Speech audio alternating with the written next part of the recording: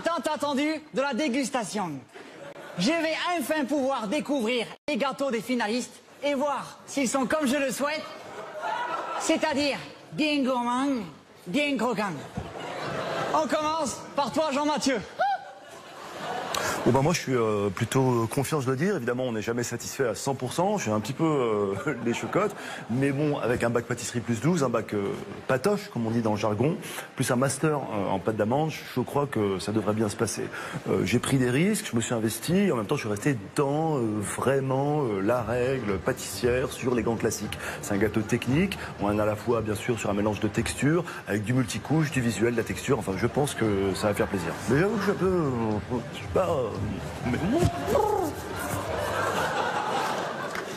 Alors, Jean-Mathieu, c'est quoi ton gâteau Oh, c'est... Euh, pardon, je suis un peu... un petit peu... Un petit peu nerveux, c'est un agrumier en fait, euh, sous forme de, de, viaduc de Milo, c'est un petit clin d'œil. Euh, euh, à mon papa euh, qui était urbaniste. Et euh, en fait, on est sur une base de biscuits avec une évolution multi-couche pour arriver ensuite... Avec un glaçage à la suédoise Non, alors justement, ça, ça aurait été assez facile et tout le monde fait ça, mais moi j'ai fait un miellage à la danoise. Un miellage à la danoise Ouais. Ça, c'est audacieux, ça, c'est bien. Voilà, voilà. En fait, pour la petite anecdote, euh, euh, ce gâteau était euh, la gourmandise, le péché mignon de cardinal de, Richelieu. Voilà, c'est. Et va, et va faire toute l'histoire de France des gâteaux, de la pâtisserie, celui-là. Là, c'est Stéphane Bern ou de la pâtisserie qui veut faire lui. Ça va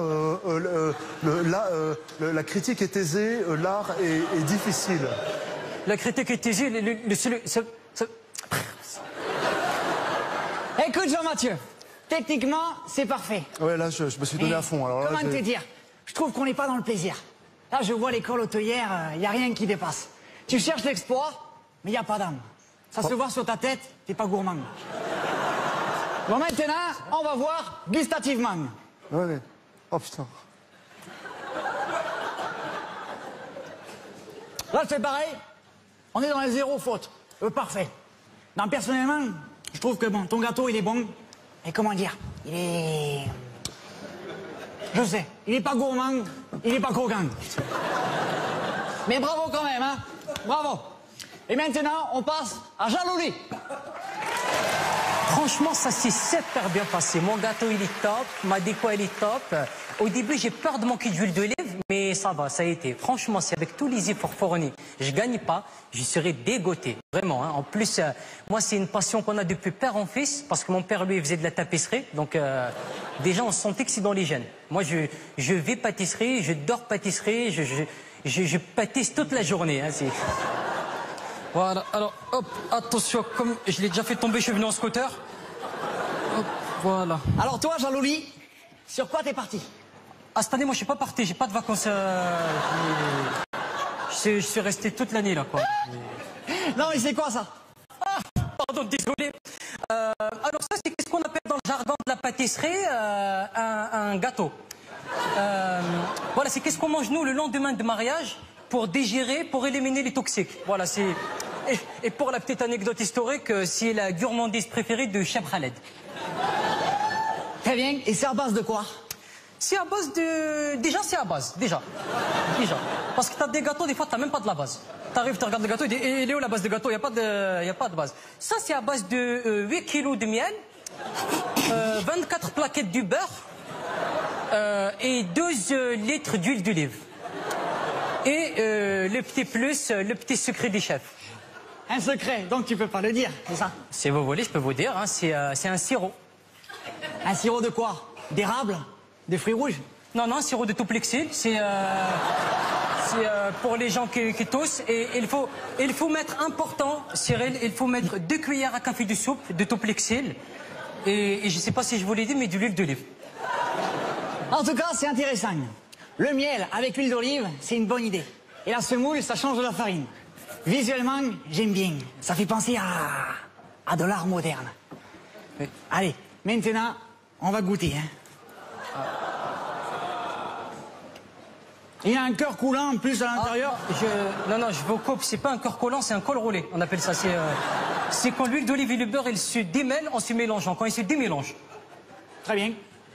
La semoule est bien imbibée avec le beurre et le miel. Et derrière, il y a la fraîcheur apportée par l'huile d'olive. Ah, Vraiment, ça me rappelle tout de suite le Sud. On est sur le soleil, les vacances, la détente, les épices. Ça me rappelle la Corse. Ah, non, pour ce gâteau, je me suis plus respiré de l'Algérie, euh, Cyril. Je sais pas, moi, je vais en vacances en Corse.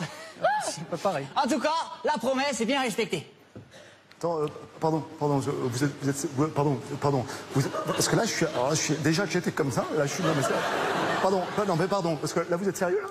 Oui, oui. Messieurs, Vous êtes- Non, vous êtes sérieux là? Oui, on est parce sérieux. que- Oui, bien sûr. Venez avec moi. C'est la vie, Approchez-vous. Non, mais c'est pas, c'est pas un gâteau, c'est un attentat là. c'est un autre.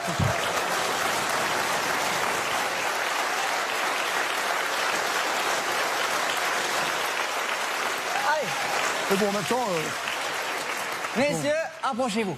ouais.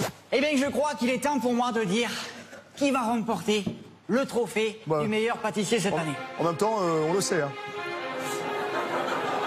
Finale de grand niveau avec Jean-Mathieu et Jaloli. Il n'y a pas beaucoup de suspense. Et après plusieurs semaines de compétition, le grand vainqueur, c'est...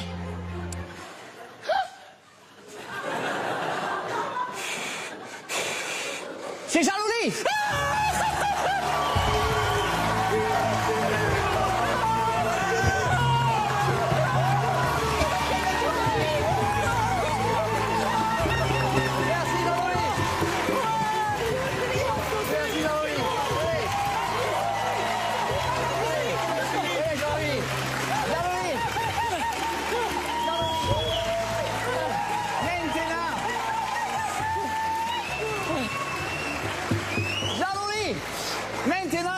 Gagné le meilleur pâtissier, qu'allez-vous faire? Les papiers